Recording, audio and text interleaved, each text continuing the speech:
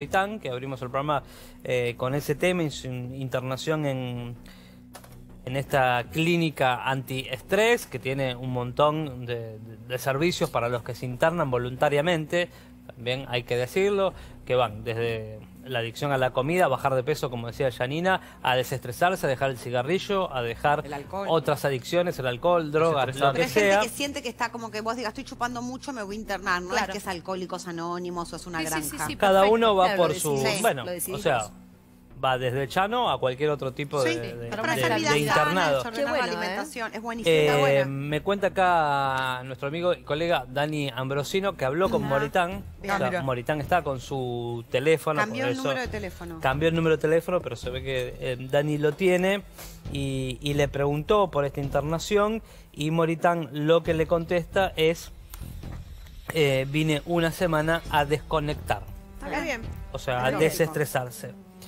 Eh, Claro, muy y Ambrosino le pregunta, ¿cómo lo puedo contar? ¿Es voluntario? ¿Que lo hiciste por una cuestión anímica después de todo lo que pasó?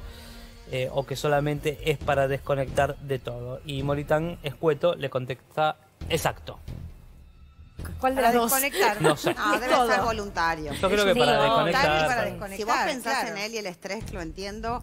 Qué temple que tiene Pampita, que trabaja todo el día, hace ayer un desfile, Bueno, tal vez la es- cara impoluta. tal no, vez la verdad la admiro. trabajo No, para- pero la admiro. Viste, no es fácil estar así. Bueno, No la también te saca-. La actividad te saca a Pasó pensar esto. Pampita tiene actividad todo el día y él Sí, se quedó también sin se nada. separó, tampoco... Claro. Claro, pasó cosas peores. Sí, Pampita. bueno, pero, pero para ella más tema temas separarse. Y pero todo el mundo No. se separa y tiene que ir a trabajar. Pero para Pampita, ¿te acordás de todas sus separaciones? Es un tema el tema de se proyectos. hace en su casa, está llorando no. todo el día. Y cuando No tiene que ya hoy. Yo la veo con otro temple, Ah, la creo. veo con Yo otra lloraba todo el día, chicos, venía acá y estaba...